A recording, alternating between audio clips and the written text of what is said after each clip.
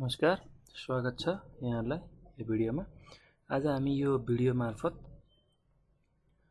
Group data अथवा discrete frequency डिस्ट्रिब्युसनको लागि मिडियन कसरी क्यालकुलेट भन्ने विषयमा चर्चा गर्नेछौँ र हामीले डिस्क्रिट फ्रिक्वेन्सी डिस्ट्रिब्युसन भन्ने कुरा थोरै बुझ्छौँ। यसरी यो दिएको डाटामा यसरी जुन दिएको छ भेरिएबल र फ्रिक्वेन्सी भेरिएबल र फ्रिक्वेन्सीलाई टेबलमा यसरी हामीले एरेन्ज गऱ्यौँ भने त्यसलाई नै फ्रिक्वेन्सी डिस्ट्रिब्युसन भन्छौँ र डिस्क्रिट किन भन्छौँ भन्दाखेरि यसमा फिक्स्ड भ्यालुहरू छ एलोङ विथ फ्रिक्वेन्सी यसमा रेन्ज कुनै रेन्ज छैन त्यो कारणले यसलाई डिस्क्रिट फ्रिक्वेन्सी डिस्ट्रिब्युसन भन्छौँ र जहिले पनि मिडियन क्यालकुलेट गर्नको लागि हामीलाई तिनवटा कुरा एकदमै ध्यानमा राख्नुपर्ने हुन्छ। हामीले तिनवटा कुरा। पहिलो कुरा भनेको डाटालाई एरेन्ज गर्नुपर्ने हुन्छ एसेन्डिङ अथवा डिसेन्डिङ अर्डरमा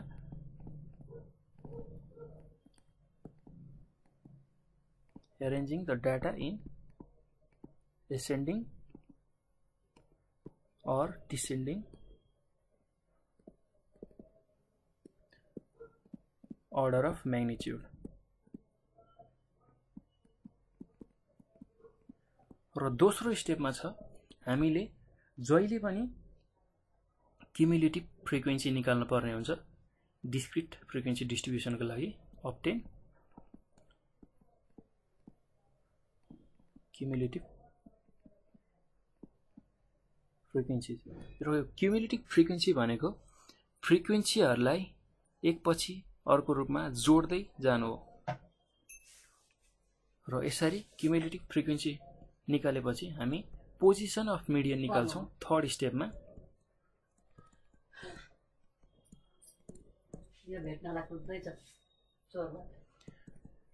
पोजिसन अफ मिडियन निकाल्नको लागि हामीसँग फर्मुला छ।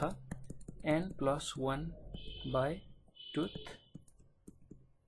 आइटम र यो पोजिसनको आधारमा नै हामीले फाइनल्ली मिडियनलाई क्यालकुलेट गर्छौँ। र यो नै थिए मेजर इम्पोर्टेन्ट स्टेप्स अथवा मेजर सम्झिनै पर्ने कुराहरू मिडियन क्यालकुलेट गर्नको लागि। र अब यसलाई हामी यो प्रब्लममा मिडियन क्यालकुलेट गर्छौँ। र यसको लागि हामीले एउटा टेबल बनाउँछौँ। त्यसको लागि क्यालकुलेसन अफ मिडियन भनेर। र पहिलो स्टेपमा हामीले डाटालाई एरेन्ज गर्छौँ। फर्स्ट स्टेपमा टेबलमै वेट इन केजी हामीलाई दिएको छ। यसरी र वेटलाई यहाँ राख्छौँ। एसेन्डिङ अर्डरमा सुरुमा सानो वेट भनेको सय छ। त्यसपछिको एक सौ बिस छ। त्यसपछिको वेट एक सौ तिस छ। त्योभन्दा ठुलो। हामी एसेन्डिङ अर्डरमा एरेन्ज गर्दैछौँ। सानो त्योभन्दा ठुलो र त्योभन्दा ठुलो। यसरी हामी एरेन्ज गर्दै जानेछौँ। त्योभन्दा ठुलो एक सौ फोर्टी छ र त्योभन्दा ठुलो एक सौ फिफ्टी छ र त्योभन्दा ठुलो एक सौ सिक्सटी छ। र फ्रिक्वेन्सी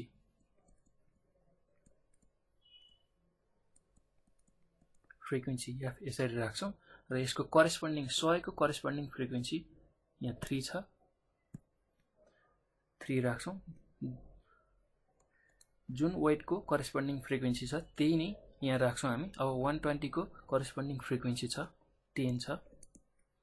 वान थर्टीको फोर्टिन छ।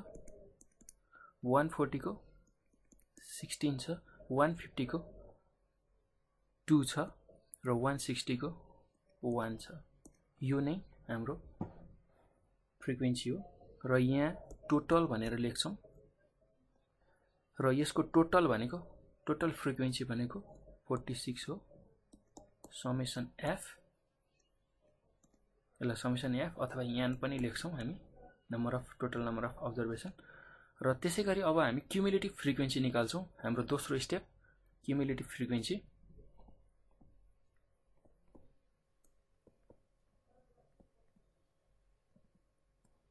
र क्युमुलेटिभ फ्रिक्वेन्सी भनेको पहिलो फ्रिक्वेन्सी पहिलो अब्जर्भेसनको फ्रिक्वेन्सी थ्री छँदैछ।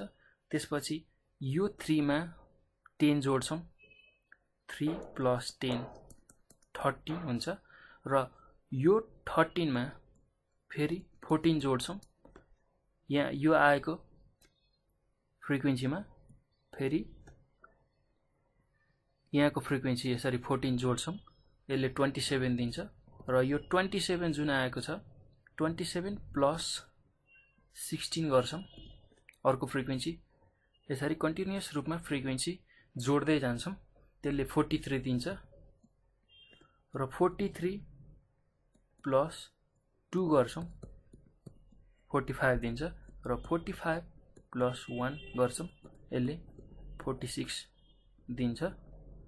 र यहाँको फ्रिक्वेन्सी र यहाँको फ्रिक्वेन्सी सेम हुनुपर्छ। सेम भयो भने मात्र हामीले गरेको कुरा मिल्यो भन्ने कुरा हामी बुझ्छौँ। हामीले एड गरेको कुराहरू बुझ्छौँ र अब यसरी क्युमुलेटिभ फ्रिक्वेन्सी निकालिसकेपछि हामी थर्ड स्टेपमा पोजिसन अफ मिडियन पत्ता लगाउँछौँ।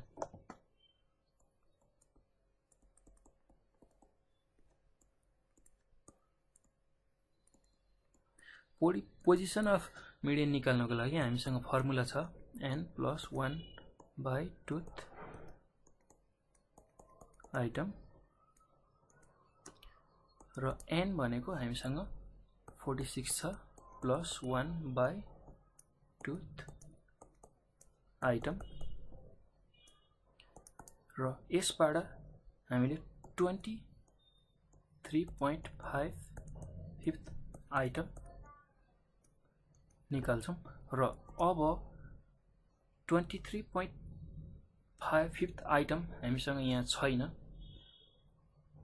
र ट्वेन्टी थ्री पोइन्ट फाइभभन्दा जुन चाहिँ अब्जर्भेसन ठुलो छ नि क्युमुलेटिभ फ्रिक्वेन्सीलाई हेर्छौँ हामी। यो पछिको स्टेपमा भनेको क्युमुलेटिभ फ्रिक्वेन्सीलाई हेर्छौँ। ट्वेन्टी थ्री पोइन्ट फाइभभन्दा ठुलो जसको क्युमुलेटिभ फ्रिक्वेन्सी छ र त्यही अब्जर्भेसन नै हाम्रो रिक्वायर मिडियन हो। र हाम्रो रिक्वायर मिडियन यसलाई लेख्दाखेरि हामी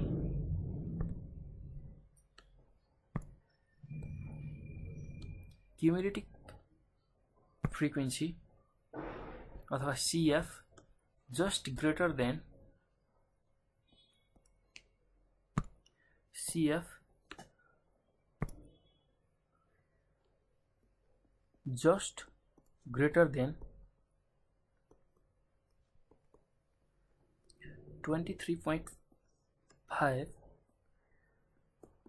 is twenty seven twenty three point five भाग फाइभभन्दा माथिको सी एफ़ जो ट्वेंटी सेवेन यहाँ छ र यसकै करेस्पोन्डिङ वेट नै हाम्रो मिडियन हुन्छ। यसकै करेस्पोन्डिङ अब्जर्भेसन अथवा भ्यालु नै हाम्रो रिक्वायर्ड median हुन्छ।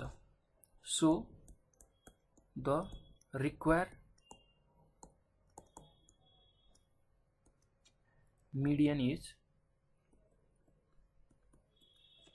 130 kg हो यो नै हाम्रो रिक्वायर्ड मिडियन हो। र एकचोटि यसलाई राम्रोसँग हेर्नु होला एकदमै सजिलो छ। तपाईँहरूले ध्यान दिनै पर्ने स्टेप भनेको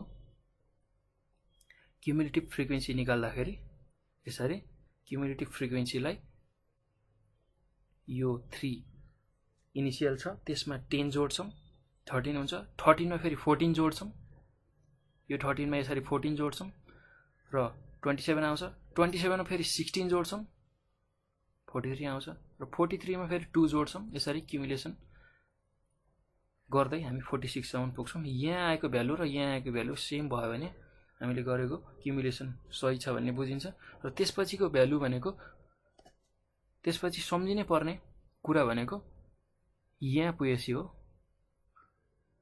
हाम्रो अगाडि गरे जस्तो मिडियनमा एक्ज्याक्ट आइटम आउँदैन twenty three point fifth item आउँदाखेरि त्योभन्दा माथिको क्युमुलेटिभ फ्रिक्वेन्सीलाई हेर्छौँ ट्वेन्टी सेभेन र त्यसको करेस्पोन्डिङ जुन अब्जर्भेसन छ त्यो नै हाम्रो रिक्वायर्ड मिडियन हुन्छ।